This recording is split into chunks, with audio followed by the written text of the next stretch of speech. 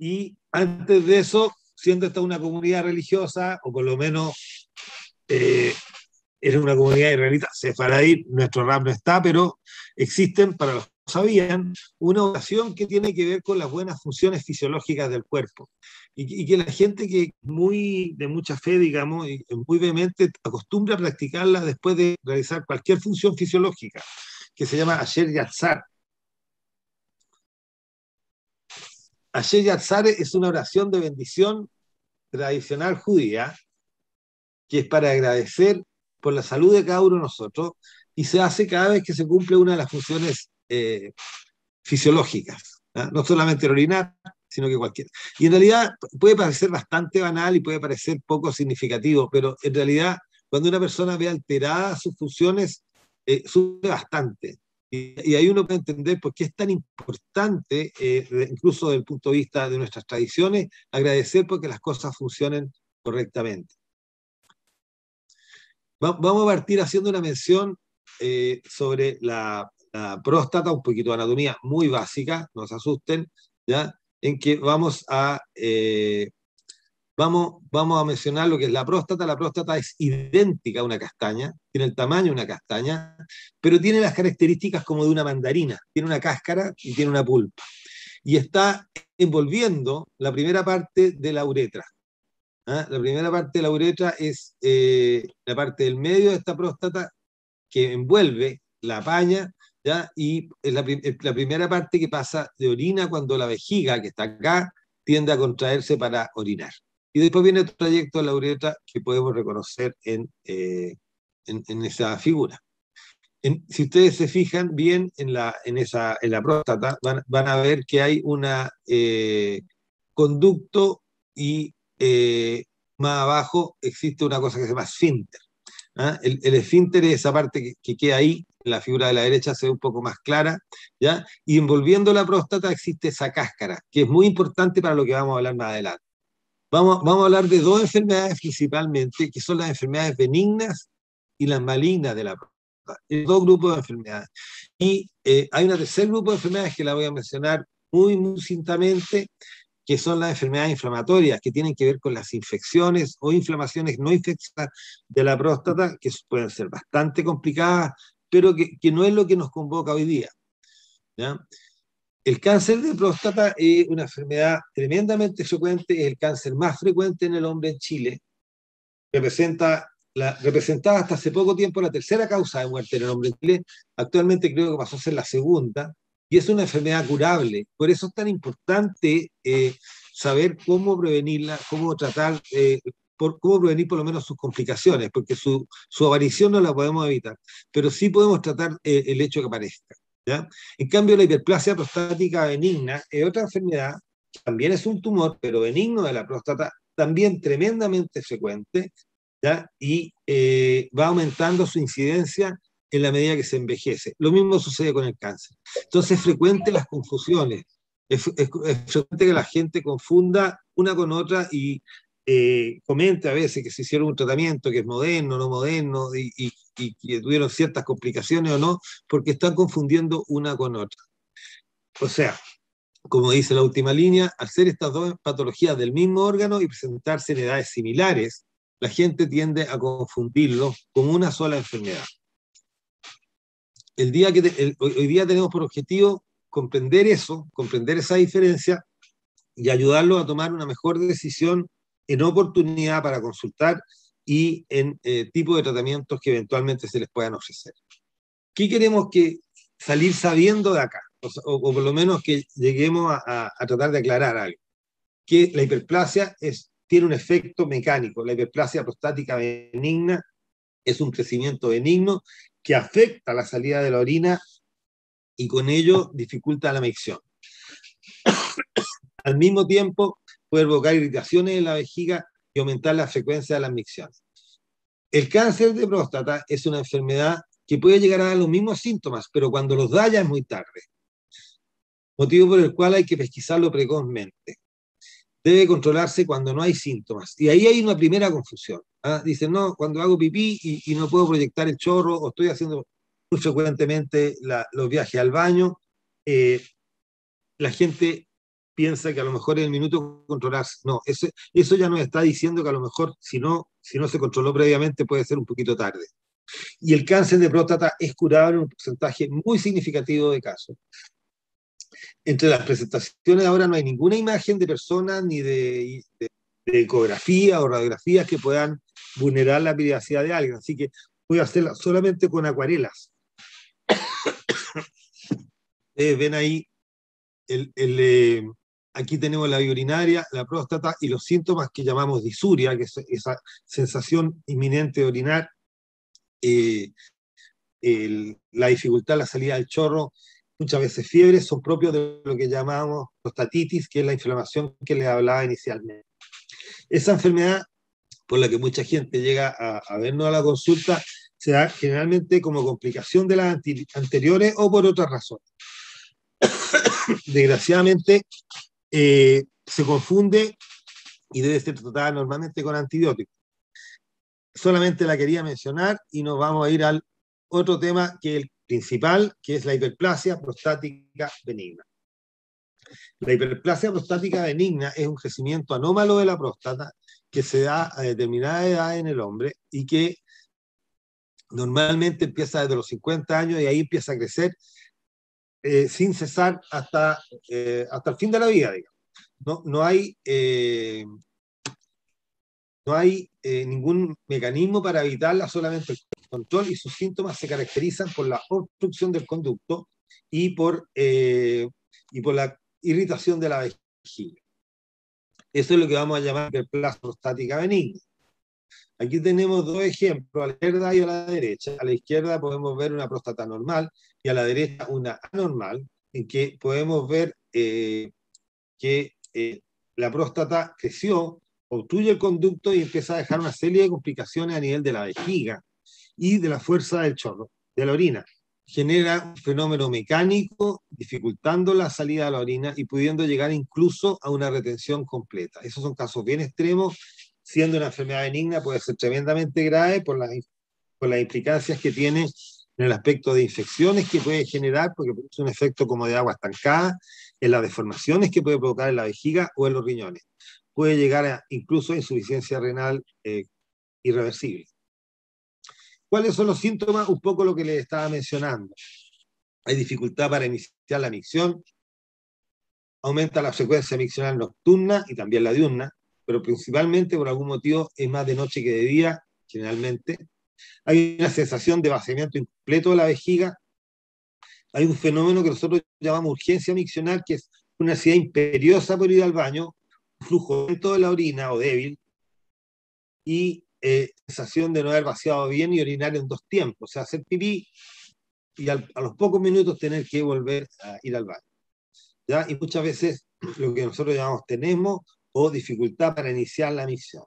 Estos síntomas se han tratado de estandarizar y existe una cosa que salió hace años que se llama score prostático, que consiste en una escala para poder cuantificar en forma objetiva la sintomatología de los pacientes se le da un número a, cada uno de los síntomas y en base a eso uno puede determinar objetivamente qué tipo de tratamiento o cuándo es uno actuar.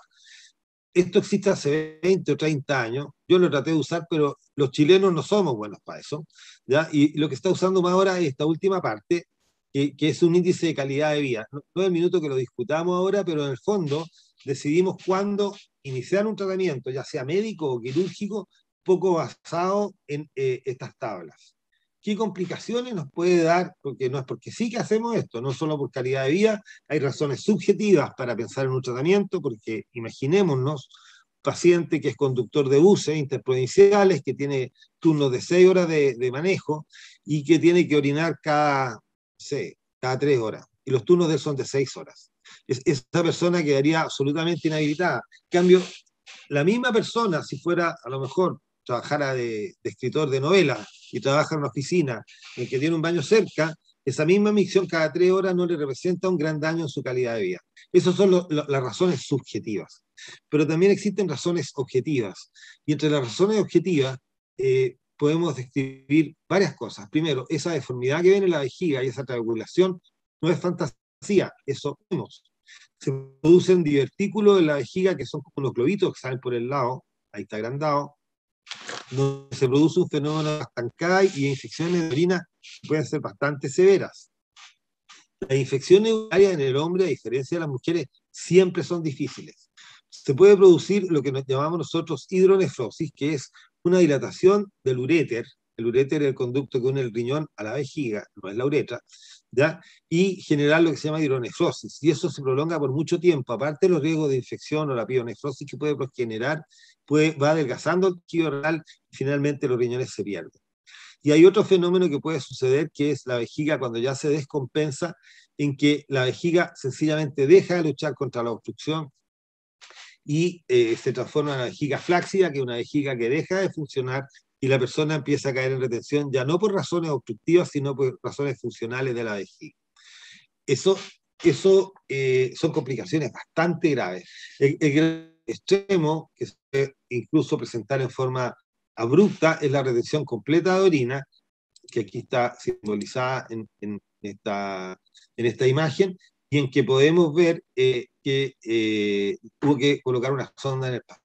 Cuando tenemos dudas, porque hay otros fenómenos que pueden simular eso, a veces tenemos que recurrir a un examen que se llama cistoscopía, en que uno mira hacia adentro y se puede ver la, imagen prostática. Esta es una imagen normal de próstata, en que se ve un conducto permeable. Esta ya es una próstata enferma en que se ven los lóbulos prostáticos obstruyendo el conducto y dificultando la micción. ¿Cuáles son los diagnósticos diferenciales? ¿Con qué enfermedades nos, confundimos? Aparte de la hiperplasia prostática, tenemos eh, trastornos obstructivos de tipo tumoral, como el que vemos acá, en que hay un cáncer de vejiga, litiasis vesical, cálculo de la vejiga, que también son eh, secundarios también al mismo fenómeno prostático, cánceres de próstata, de lo que vamos a hablar después, y trastornos neurológicos. Y los trastornos neurológicos también son súper importantes. Son aquellos funcionales en que la vejiga deja de funcionar y que también se van acentuando con, en la medida que la persona envejece. Y eh, es posible confundir un trastorno vesical en un paciente con un Parkinson's o con una enfermedad neurológica con un fenómeno prostático. Y ahí hay que tener ciertas cautelas, sobre todo en que nos estamos transformando en una población cada día más en el caso que haya una retención completa de orina, constituye una emergencia, una emergencia inmediata, no puede esperar, donde hay que poner onda, es un, un evento que queremos evitar y eventualmente, por eso no se sorprendan, ocasionalmente puede haber gente que le tiene que hacer una cistostomía por punción, que son pacientes a veces muy complicados, en que sencillamente no permite la entrada de la sonda por la misma próstata y hay que vaciar la vejiga. ¿Cuál es el objetivo del tratamiento? ¿Qué es lo que queremos conseguir en la hiperplasia prostática? Solamente una cosa, destapar. ¿ah? Destapar y sacar ese contenido de esa mandarina que les hablaba inicialmente, en que crecieron los gajos, la cáscara quedó comprimida y con un aparato o por una técnica determinada, que son muchísimas hoy en día, ¿ya? uno saca estos gajos y conserva la cápsula prostática. O sea, la cáscara de la próstata debe quedar. Y eso significa, y esa es una de las confusiones que tenemos que evitar, que aquellas personas operadas de hiperplasia prostáticas benignas de la próstata deben seguirse controlando por el resto de su vida como que si no se hubiesen operado, porque esa cáscara puede ser el origen de un futuro cáncer. Eh, es frecuente que alguna gente aparece años después y me dice, oiga, ¿y por qué se demoró tanto? Una pregunta, y, y la respuesta es porque ya me operé. O eh, o la otra, la señora, el caballero dice, oye, ¿por qué no lo operan una vez por todas para que no tenga cáncer? La verdad es que la cirugía de hiperplasia prostática benigna deja mucha próstata, que es la cápsula prostática, que es un tejido que debe quedar y que queremos que quede por razones de seguridad del paciente.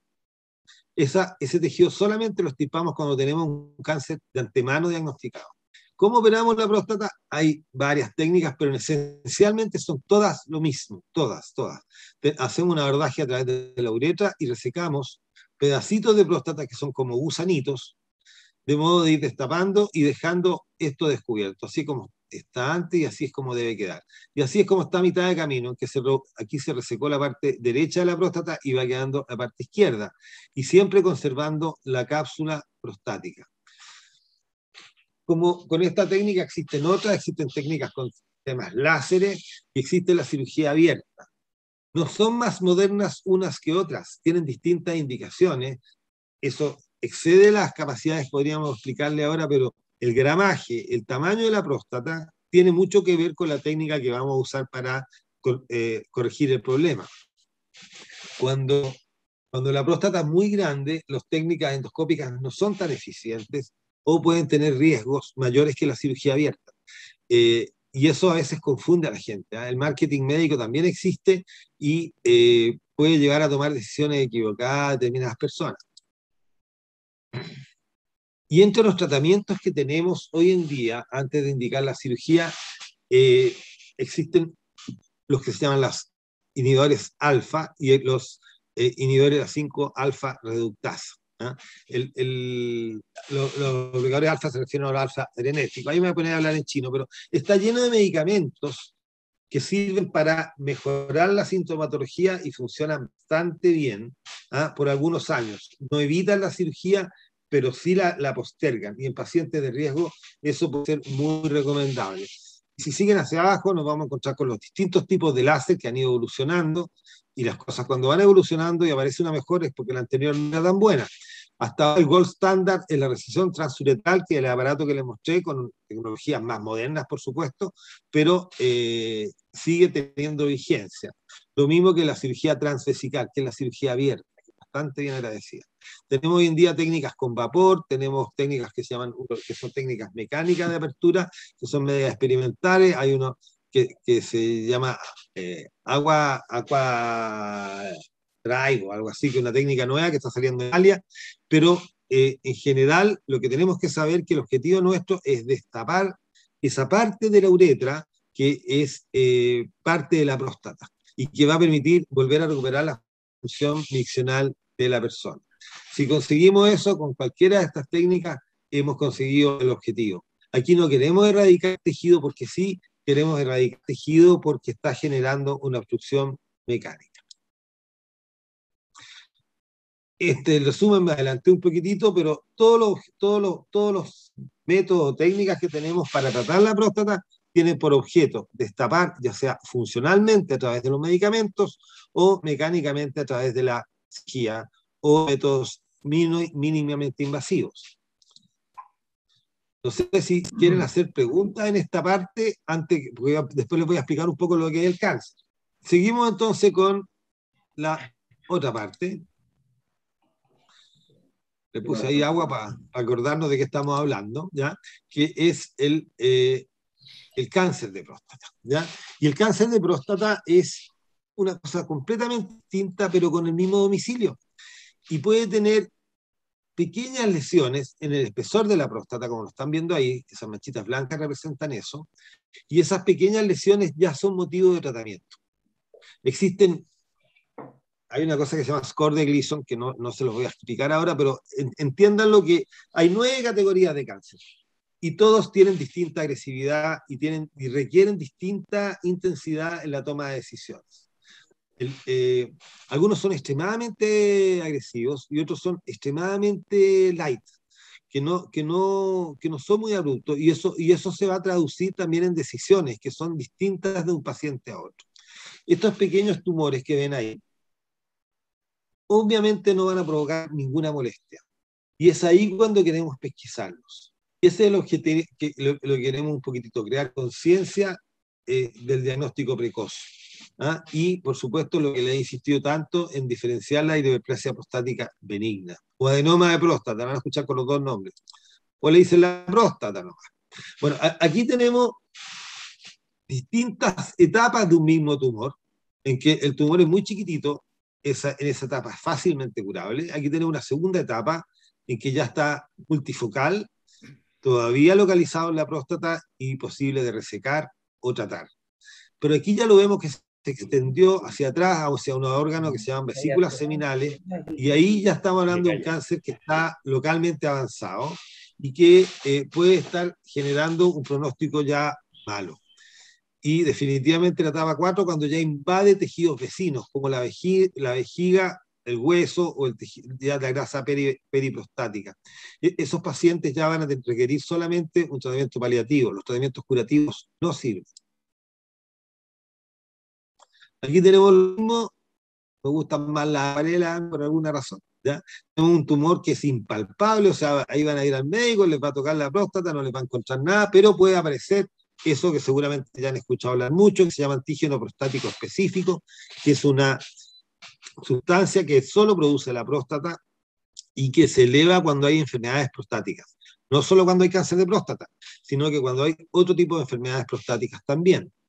El, eh, aquí vemos las mismas etapas que les mencionaba hace un rato. Aquí ya se adivinan un poco las vesículas seminales que, que para nosotros son importantes porque tenemos que extraerlas cuando sacamos, cuando hacemos cirugía de cáncer de próstata. Y también existe la, la extensión a distancia, y el, el, cáncer de próstata tiende a, a, diseminarse a los ganglios de la zona pelviana, distintas zonas que los tenemos que sacar cuando operamos un cáncer de próstata de acuerdo a la etapa que estén, y a los huesos, particularmente en la columna vertebral y en las costillas, lo que da secuelas que son bastante tristes, incluyendo paraplegia y otro tipo de cosas que son bien delicadas. Y, y en esa etapa es bastante difícil dar un tratamiento de curación y nos vemos obligados a hacer tratamientos que llamamos de paliación. Entonces, tenemos hoy en día, para diagnosticar el cáncer de próstata, uno es el examen físico rectal, aquí tenemos un tumor en que se debería detectar mediante el tacto, el antígeno prostático específico que es extremadamente útil, eh, pero eh, alguna gente se confunde y cree que es la enfermedad. Tener un antígeno elevado no es sinónimo de tener cáncer de próstata. Tener un antígeno elevado nos está diciendo que hay un problema en la próstata que podría no ser tumoral. Y les voy a dar un dato, el 70% de las elevaciones del antígeno prostático específico no son ocasionados por cáncer de próstata, sino que son ocasionados por otros trastornos prostáticos. Y el valor normal de este antígeno, les va a parecer curioso, no existe, porque ustedes pueden ver el papelito que entrega el laboratorio y dice el valor normal es de 1 a 4. Ese valor en realidad eh, es un valor estadístico, pero cuando se trata de una persona, uno tiene que tratar de aplicar criterios individuales. Y ahí lo que nos importa es la pendiente de la curva. O sea, cuánto fue el delta de la variación del antígeno en condiciones basales en esa persona. Y hay rangos de tolerancia al cambio en el tiempo. Entonces, es muy importante tener una secuencia cuando una persona se controla. O sea, ojalá disponer del valor del año pasado cuando, el, cuando ya viene un segundo control. ¿ya? Y eventualmente, hoy en día, lo puse en otro color, con interrogativo, se está usando mucho, es la resonancia nuclear magnética, no como método de diagnóstico, sino que como método para eh, confirmar el riesgo de tener una lesión prostática neoplásica y en qué localización de la próstata. Hoy en día, mediante este examen, podemos saber qué parte de la próstata tiene más riesgo. Eh, es un examen hiper especializado, extremadamente oneroso, digamos, para hacerlo como screening. No se puede utilizar como método de pesquisa, pero una vez que existe un riesgo razonable, eh, lo estamos usando bastante y ya está normado en la guía americana y, europea de urología. Entonces, ¿cuándo diagnosticamos un cáncer de próstata? No cuando tenemos un tacto elevado, ni cuando tenemos un antígeno elevado, ni cuando tenemos una resonancia elevada. Eso nos va a dar una probabilidad de tenerlo. El, cáncer se diagnostica mediante una biopsia y esa biopsia nos va a dar además una información muy relevante que ese, ese score que le hablaba yo, score de Gleason, que tiene que ver con la agresividad del tumor, nos va a decir cómo, qué probabilidad tiene de ser este un tumor agresivo o no. Entonces tenemos que, podemos sospechar, sospechar, no diagnosticar, cáncer de próstata mediante el tacto, se palpan normalmente induraciones, por variaciones del antígeno, si se fijan bien puse variaciones, no puse valores, sino que deltas, hay que verlo cómo evoluciona en el tiempo. No con un antígeno elevado nos tenemos que desesperar pensando que tenemos un cáncer y, eh, y si el médico se los indica, eh, hacer una resonancia nuclear magnética porque va a ser seguramente a un criterio bien formado y con una dirección bien clara hacia dónde está dirigiendo el diagnóstico pero finalmente va dirigido a hacer la biopsia que la manda más en el diagnóstico de esta enfermedad. ¿Cuáles son los factores de riesgo para tener cáncer? Y, y ahí, eh, si ustedes se fijan, eh, ¿por qué tenemos tanto riesgo de cáncer de próstata hoy en día en Chile? Es porque nos estamos poniendo una población más vieja. A mayor edad, mayor riesgo. Y les voy a dar otro dato que seguramente no me lo van a creer, pero es cierto. el, el, 80, el 70% de los hombres a los 80 años, o sea, más de dos tercios, si le hiciéramos una biopsia, encontraríamos ya señales de un cáncer de próstata. Es decir, es tremendamente frecuente. Lo que pasa es que también la agresividad del tumor tiende a disminuir con la edad. Los tratamientos se hacen también de acuerdo a la expectativa de vida de las personas y por eso eh, a los 80 años no se le da la misma importancia que un cáncer de próstata a los 70 años. Los grupos étnicos también son muy importantes. Los, los, grupos que tienen mayor riesgo son la, la raza negra, eh, que tienen muy mal pronóstico cuando, cuando lo presentan, y los que tienen menor riesgo son los asiáticos. Eh, la mayor parte de los judíos en Chile somos eh, de raza, ¿cómo se, me fue el nombre ahora? Caucásicos, ¿ya? y el, nuestro, nuestro riesgo es intermedio.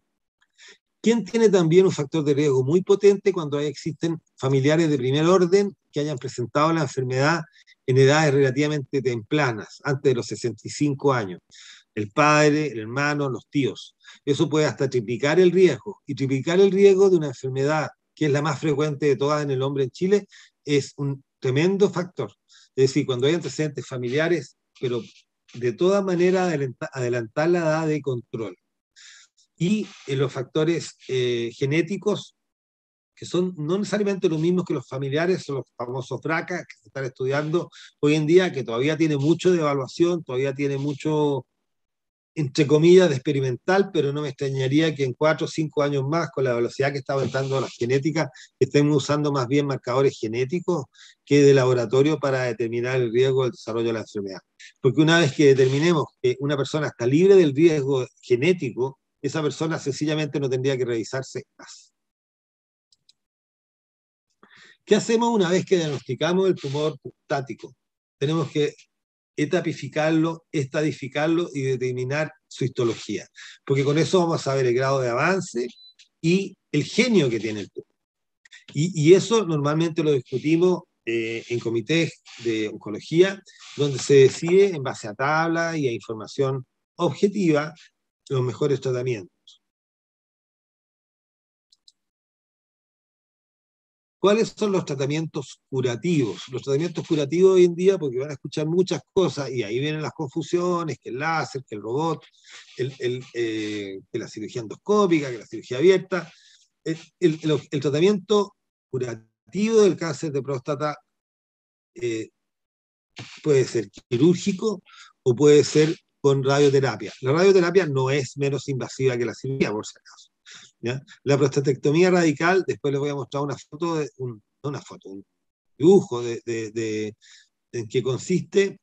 Eh, es un tratamiento curativo en que se estirpa la próstata y el tejido que lo rodea normalmente se asocia a la disección de los ganglios, eh, de modo de, dejar lo que nosotros llamamos R0 a un paciente, es decir, sin restos de tumor, y ese paciente técnicamente queda dado.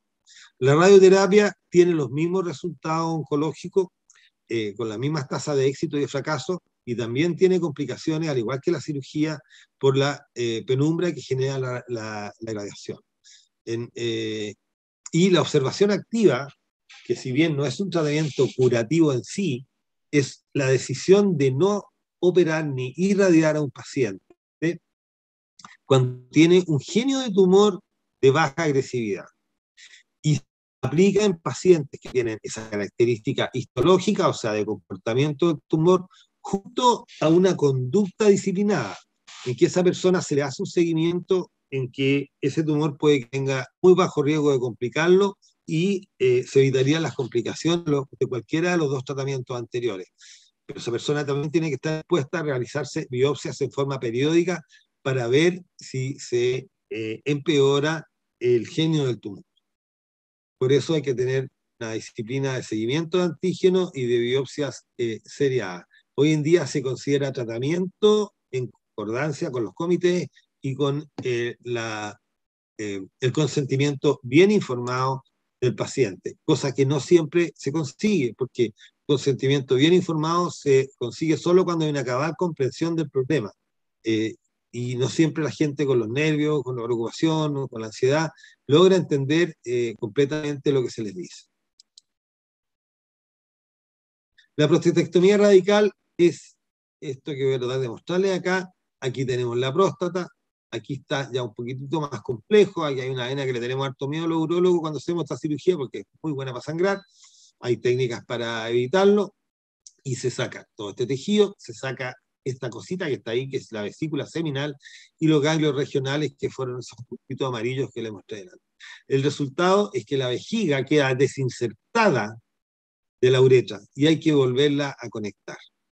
Eso, cualquier técnica quirúrgica en cáncer curativo de próstata va a hacer lo mismo, importa qué vía de abordaje, de abordaje utilice. Y todas tienen el mismo resultado oncológico. No hay mejores resultados de una técnica por sobre otra. Cuando una técnica es francamente superior a otra, hace desaparecer a las anteriores. Aquí no han desaparecido. Y entre las complicaciones que puede haber de la cirugía radical de próstata están las disfunciones sexuales erectivas y puede haber también incluso daño del esfínter, que está muy próximo, a veces está prácticamente fusionado con esta zona de sección y puede sufrir. Y hay un porcentaje de pacientes que pueden tener problemas de continencia después de la cirugía. Por eso eh, hay que tener eh, una buena conversación con los pacientes antes de. Y aquí mantuve la diapositiva anterior, pero dejé la previa, la de la primera parte, la de la próstata, de la próstata benigna, en que ustedes pueden ver que en esta cirugía se conserva la cápsula, no se vuelve a conectar la vejiga a la uretra. Entonces, la cirugía de hiperplasia prostática benigna es un vaciamiento de una parte de la próstata en que se conserva. La cirugía del cáncer de próstata es una extirpación completa de todo el órgano y los órganos que lo envuelven, más los ganglios regionales. Es una, una, eh, la diferencia del cielo a la tierra en complejidad y en riesgo. Cuando el tratamiento no puede ser curativo porque ya el cáncer está avanzado, normalmente utilizamos lo que se llama hormonoterapia, que es una terapia que normalmente acompaña de por vida al paciente y consiste en un bloqueo androgénico. En un fondo, bloquear un poco la hormona masculina. Eh, cuando falla esa etapa del tratamiento, procedemos a hacer la quimioterapia y cuando, eh, cuando fallan ambas, eh, usamos terapias combinadas, terapias biológicas con quimioterapia y muchas veces manteniendo la hormona la hormonoterapia. Por eso van a escuchar que hay gente que está en tratamiento, incluso cirugía, antiguamente se hacía cirugía a los testículos, que ya hoy en día prácticamente no se hace. Y en el fondo, no sé si fui lo suficientemente claro, eh, me abro a las preguntas, o nos abrimos con Daniela a las preguntas que puedan tener sobre el tema. Yo quiero saber, eh, no sé si lo, lo comentaste, pero ¿a qué edad los hombres deberían empezar a, chequearse o, ir a visitarlos a ustedes? Mira, eso es, relativo, eh, sin duda de los 50 años. eso, eso es un deste. ¿ah? La Asociación Americana de Urología tiene, tiene establecido eso, lo tiene normado pero, pero esos, esas cosas en realidad se hacen de acuerdo a, cálculos estadísticos, se hace una curva de Gauss, uno va estirando la curva y va buscando cuántas desviaciones estándar eh, permiten o no hacer lo que llaman screening prostático, porque está chequeando a toda una comunidad y, y eso puede ser, ser difícil de entender, ¿ah? pero el, em, a ver, una cosa la medicina en salud pública, y cuando hablo pública no hablo de la estatal, sino que de toda la gente, ¿ya? Y otra cosa son los criterios individuales de las personas. Los criterios de salud pública americanos dicen parta a los 50 años y si tiene parientes de primer orden eh, involucrados debería partir entre los 40 y los 45. Si usted es de raza negra, también adelántelo. Si usted es asiático, la, la verdad es que no se apure mucho si no tiene ningún pariente. Lo, que hemos estado haciendo en Chile, y es lo que se hacía hasta hace unos 15 años en todo el mundo, es partir de los 40 años, buscando encontrar me imagino, no sé si entiendo lo que son las colas de la, de la curva de Gauss, o sea, lo, que sea menos, eh, cuando una probabilidad es baja, ¿no es cierto? Eh, pero para hacerlo con pera y manzana, ya, eh, yo recomendaría partir de los 45 años con antígeno prostático específico, no contacto rectal para no asustar a la gente, porque hay gente que deja ir al médico y deja de hacerse los exámenes por temor al bochorno o al mal rato, ¿ya? Pero eh, si hay un pariente cercano de primer orden, un primo, un hermano, un tío, eh, un abuelo en línea directa, eh, yo partiría de los 40 años, porque uno de los factores de riesgo es la juventud. El cáncer de próstata en el hombre joven es tremendamente mortal, es muy agresivo porque tiene grupos histológicos más agresivos. Y además, siendo una persona que tiene una expectativa de vida a los 40 años, de 40 o más años en los tiempos actuales, es muy probable que esa enfermedad lo logre matar. En cambio, en un señor que tiene 80 años y que es diabético, hipertenso, cardiópata y que tiene una expectativa de 3 años, la, verdad es que no hay que desesperarse, porque aunque encontremos un tumor, probablemente no le vamos a hacer estos tratamientos que tienen más riesgo que la enfermedad de base. Entonces, la recomendación es partir a los 45 años, al menos que haya familiares directos y ahí partir de los 40 años con antígeno prostático específico. Y es muy importante la periodicidad porque es, significativa el valor que tiene el delta en el valor del antígeno, o sea, seguir todos los años. Yo, yo a los pacientes míos les recomiendo, más que recordar una fecha, recordar un evento. Si es en septiembre, que se acuerden de las fiestas patrias, y si en, si en mayo, que se acuerden de Arturo Prat, Pero, pero que tengan un hito que les permita volver eh, y, marcar eh, en la memoria cuando toca repetirlo. Y normalmente dejo una orden sin fecha para que el paciente vaya ya con el examen tomado. No sé, Daniel, cómo lo, lo haces tú. Ya les comento, yo, mira, yo encuentro muy buena la representación de Ricardo. Yo creo que lo fundamental que tiene que entender la gente es lo siguiente. Primero, que la próstata es un órgano que con demasiada frecuencia crece. Tiende a crecer más o menos sobre el 70% de la población normal sobre los 40 años el crecimiento prostático no necesariamente implica problemas en el paciente. Por lo tanto, el tener la próstata grande no necesariamente va a provocar obstrucción.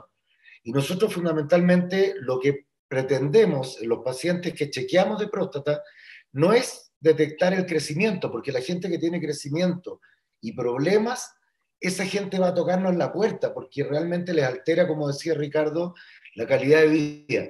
A lo que a nosotros nos interesa ir es a buscar a aquel paciente que tiene un cáncer de próstata, porque el paciente con crecimiento benigno va a ir solito al doctor porque ya su vida se hace muchas veces insoportable. Ahora, el tema del cáncer de próstata, como decía Ricardo, después de los 80 años es extremadamente frecuente y por lo tanto, desde el punto de vista práctico, y aparte es poco agresivo, lo que nos interesa es ubicar a aquel paciente en el cual nosotros le vamos a ofrecer alguna alternativa de tratamiento que lo mejore si es que lo detectamos. Hay muchos pacientes que a nosotros nos dicen, pucha, yo no voy al doctor porque no siento nada. Y yo muchas veces les digo, si ustedes tienen un cáncer de próstata y sienten algo, no vayan al doctor o vayan más tardíamente porque ya vamos a tener poco que ofrecerle.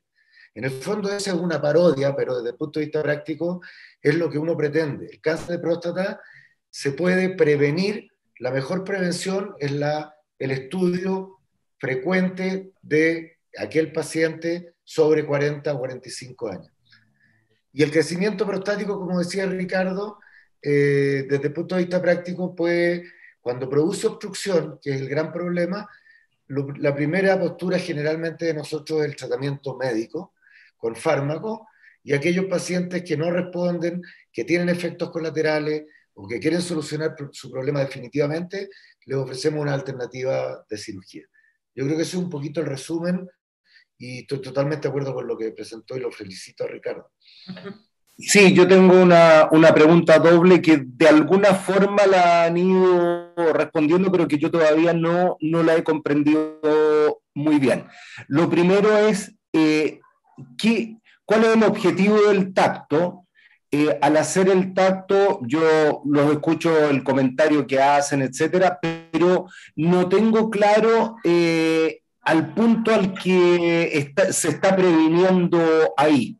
Y el segundo tema es que eh, en el mercado uno ve un montón de pastillas y cosas, prevenga, y e, este tema por lo que los escucho a ustedes, básicamente uno debería estar haciéndose periódicamente el control y no hay una agüita especial para tomarse ni nada por el estilo que ayude a prevenir. Eh, Ricardo, ¿qué eres tú o yo? Mira, yo creo que tenemos que intentar los dos, ¿ah? porque creo que aquí ese es un punto que es lo que queríamos, ¿no es cierto?, aclarar. El, eh, la hiperplasia prostática, como decía Daniel, eh, eh, en sí no, no, nos preocupa mucho. ¿ah? Es como, muchas veces yo le digo a los pacientes, como ser narigón. ¿ah? Cuando uno es narigón, no está enfermo la nariz, ¿no es cierto? Y lo mismo pasa con la próstata. Puede estar grande y no significa que la persona esté enferma y no va a empezar a crecer después de los 40 años y con, con una muy alta probabilidad. Ahora, de acuerdo al patrón de crecimiento que tenga, va a provocar el grado de irritación o de obstrucción de la vía urinaria cuando eso se produce, por razones subjetivas y no objetivas, podría procederse a un tratamiento. Y cuando hay daño de la vejiga, de los riñones, de otras estructuras, producto de esta obstrucción, ya por razones objetivas, debemos resolver los riesgos que representa esta obstrucción, como son las infecciones o los daños en la función renal. Y el sangramiento, que son cosas que la verdad es que no quería ser muy dramático, ¿ah? pero hay sangramientos bien potentes a veces el objetivo del tacto es súper importante, no solo el diagnóstico, sino que una vez diagnosticada es para tapificar el tumor, porque uno puede determinar extensión, si hay compromiso de estructura cercana, de repente toman hasta el puy, hasta el hueso, si está fija o no la. Son todas cosas que se discuten en los comités una vez diagnosticado un tumor para poder ver qué probabilidad o qué posibilidades de poder extraer el órgano. No, no, no, es cosa de meterse a operar y decir, chula, no lo pude sacar. O sea, si, si, uno, si uno dice de antemano, tengo, tengo una lesión prostática que está fija, que está adherida al hueso, no perdamos el tiempo haciendo eh, cirugía innecesaria, porque sabemos que ese paciente no lo vamos a curar. Ahora, en el, fenómeno de diagnóstico es más importante y tiene más peso el antígeno que el tacto. Eso, eso ya se sabe y hay algunas escuelas que están empezando a disminuir la frecuencia del uso del examen digital rectal, no solo por su utilidad, sino por lo que asusta a los pacientes y al final no termina haciéndose nada. Entonces, en términos prácticos, a veces conviene con alguien que sepa analizar antígeno, porque créanme, de antígeno podemos hablar ocho horas porque si se empiezan a fijar van a, empezar a hablar que uno dice, oye, pero libre, y una, una, una subvariedad del antígeno, y empezamos una serie de análisis. Yo, yo te puedo decir que una, una persona, casos vividos, ¿ah? o sea, entre Daniel y yo llevamos, más de 30 años, yo 35 años de urologo, tengo 15.000 operaciones hechas, próstata, operado más de 5.000 en mi vida. Imagino, no sé cuántos pacientes habré visto, pero, pero el, eh, me ha tocado ver cosas que son con casi lleno de anécdotas. Una de ellas son las prostatitis, que fue lo primero que les mencioné, y que es un tremendo, un tremendo elevador de antígenos. Una vez vi un paciente que lo examiné en la mañana con antígenos de 2, desarrolló una prostatitis y en la tarde tenía 80. O sea, eh, esa persona no puede creer que tiene, nadie creería que entienda un poco que tiene un cáncer de próstata. Esa persona porque no me ha hablado del antígeno prostático, lo que tiene es una enfermedad prostática que elevó el antígeno. El, el, antígeno existe en grandes cantidades en la sangre. Y lo que uno mide en la sangre, eh, perdón, en la próstata, y lo que uno mide en la sangre es lo que se escapa de la próstata, que es marginal. Cuando hay una enfermedad prostática, filtra más a la sangre y es lo que uno mide. Entonces, si hay una infección, actividad sexual, anda en bicicleta, traumatismos como sondeo o, un accidente pueden elevar el antígeno tanto más que el cáncer. Entonces, eh, los chequeos son importantes no solo por, por, el valor inmediato, sino que por el precedente con respecto al antígeno anterior. El delta que se estima para un antígeno prostático por año es de un 25% de ascenso máximo con un tope de 0,7. Es un dato que a usted a lo mejor no les va a decir nada, pero, pero el médico que lo está viendo sí, sí lo va a saber ver y, y, debería poder tomar una decisión en base a esa información. Yo te agrego un par de cositas. ¿Qué es complemento? Eh, hay pacientes que tienen cáncer de próstata y tienen el antígeno prostático normal, cuando nos van a ver la primera y la segunda vez.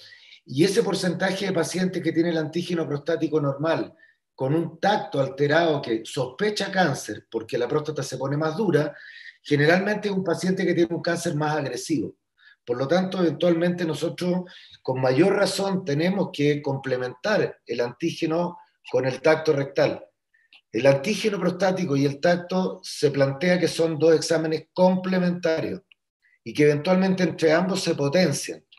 Y por tanto, el tacto sigue siendo una herramienta que eventualmente nos ayuda a detectar a aquellos pacientes que por distintas circunstancias, como por ejemplo por la agresividad del cáncer, tienen un antígeno normal. Entonces, es, necesario ambos exámenes. complementarlo. Sobre todo la gente más joven. Eso es un poco... Ideal, el ideal de los escenarios es pesquisar un cáncer con antígeno normal. Un antígeno de un paciente que llegó con un antígeno de 1 y que al año siguiente le encontramos un antígeno de 3,5. Ambos son normales. Y el tacto determinó o hizo saber, no hizo sentir una induración que le tomamos una biopsia, siguiendo los protocolos debidos, ¿ya? El, eh, y determinamos que hay cáncer. Ese paciente, si, si cambio, eh, eh, un paciente que llegó con un antígeno que está en 7, que es un valor ya, y, y, y que a, a, lo mejor a todas luces, a lo mejor lo vamos a pillar más tarde, podemos ganar un año. Oye, y perdón, y con respecto a la segunda pregunta, ¿alguna agüita, alguna de estas cositas ah. que andan ofreciendo por ahí, algo sirve o, o es pura superchería? Ah hay, hay estudios, ¿eh? hay estudios de, de, lo inútiles que han sido. O sea, la, la industria farmacéutica eh, es bastante ambiciosa y si apareciera una droga que pudiera curar el cáncer o disminuir la tasa, la verdad es que los gobiernos donde tienen medicina centralizada invertirían, estarían felices de poder dar ese medicamento y evitar las cirugías. Hasta ahora yo no he visto ninguna publicidad de esa, ni en Estados Unidos ni en Chile, que no diga que es un complemento alimentario, en primer lugar, o sea, es como vitamina, digamos, así es como, si lee la letra chica va a decir eso, y eh, ninguno se refiere al cáncer, en ninguno menciona la palabra cáncer.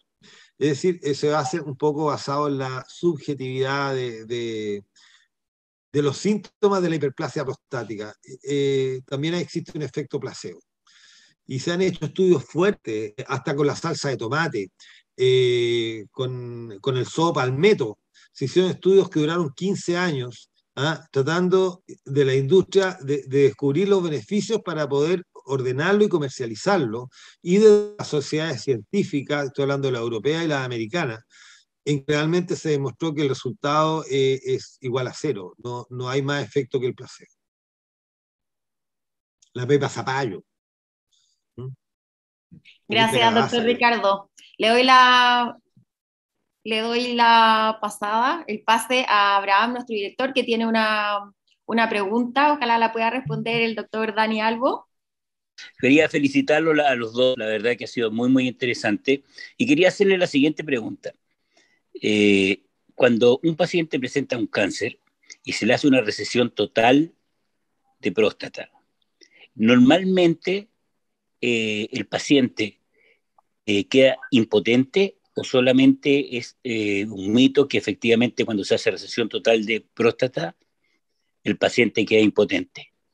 Eso quería preguntar y muchas gracias, los felicito nuevamente a los dos.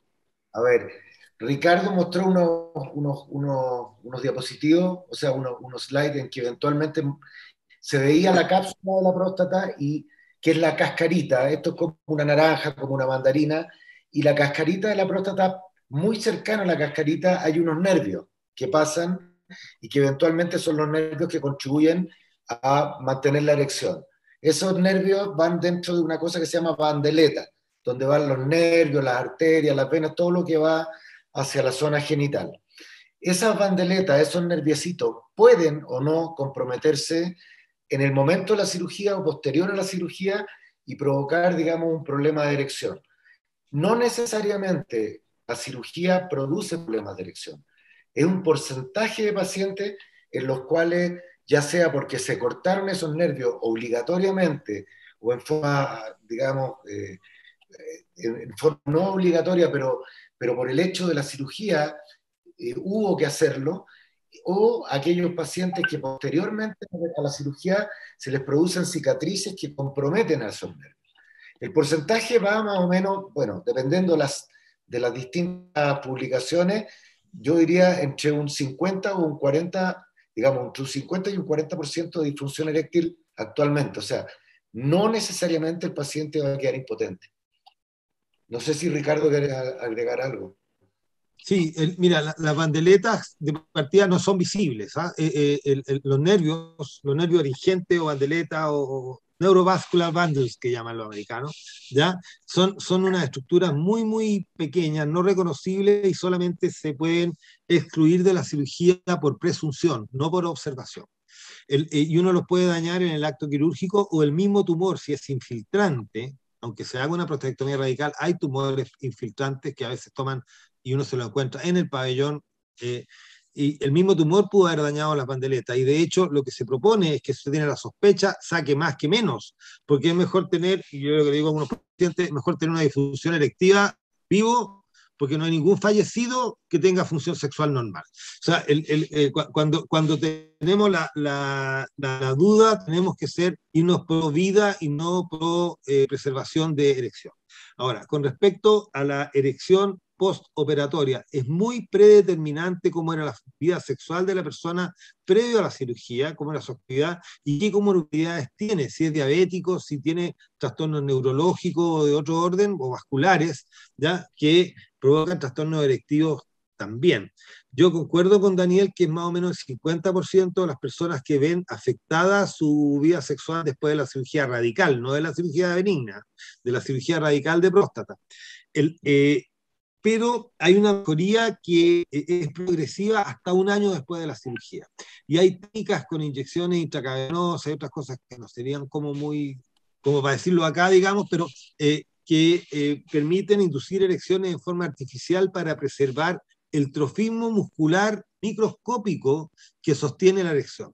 Y, y, lo que se hace es inyectar estos medicamentos, provocar erecciones que no tienen nada que ver con el ámbito erótico, sino que solamente, como que dice, gimnasia para la erección, ¿ya? en el postoperatorio y que eh, se ha visto que más o menos eh, se pueden producir mejorías o progresiones eh, hasta el año después de operado. Si la persona después de un año ya no recuperó su función, o sea, lo que recuperó hasta el año es con lo que va a quedar. Y ahí hay que utilizar técnicas alternativas de recuperación de la función sexual, siempre y cuando el partner quiera, porque esta cuestión es de a dos. Entonces, eh, muchas veces, doy como dato, eh, antiguamente que se usaban muchísimo las prótesis en cirugía de disfunciones sexuales, eh, el 30% de los pacientes que se las ponían no la utilizaban nunca, era por razones de autoestima, no, no eran por razones funcionales poco equivalente a lo que era, es la prótesis de mama en las mujeres. Una mujer con mastectomía quiere recuperar eh, su estética, ¿ya? y los hombres que no tienen erección quieren tenerla, aunque, aunque no la usen nunca. Ok, muchas gracias, se pasaron. los felicito nuevamente a los dos. Muchas gracias. Gracias, doctores. Eh, no sé si hay más preguntas. Yo tengo una pregunta. Yo, la verdad es que eh, yo una vez hago, hago una presentación a grupos, a grupos que no sean médicos, el, eh, y, y, esta, esta presentación fue muy sui generis, la, la, verdad es que la hice pescando, no existe una presentación ni, ni, una hoja de ruta para desarrollarla. A mí me gustaría tener una retroalimentación, si quieren en privado, como quieran, eh, con respecto a la claridad de lo que hablamos, porque yo creo que esto, de, esto sería una buena forma de divulgación, eh, es primera vez que hago ante un grupo eh, no, no, médico una presentación, ¿ya? Y eh, a lo mejor fui muy enredado, claramente omití muchas cosas sin darme cuenta, no tengo el hábito, pero eh, me gustaría, si es posible, eh, cuando pueda recibir las críticas, y tengo harta, harta capacidad de tolerancia a, lo, a las críticas, así que eh, yo creo que se aprende de los errores y no de los aciertos. Así que donde fallé, por favor, díganmelo. Lo que hice bien, bueno, si quieren me lo dicen, pero no es tan importante. ¿Mm?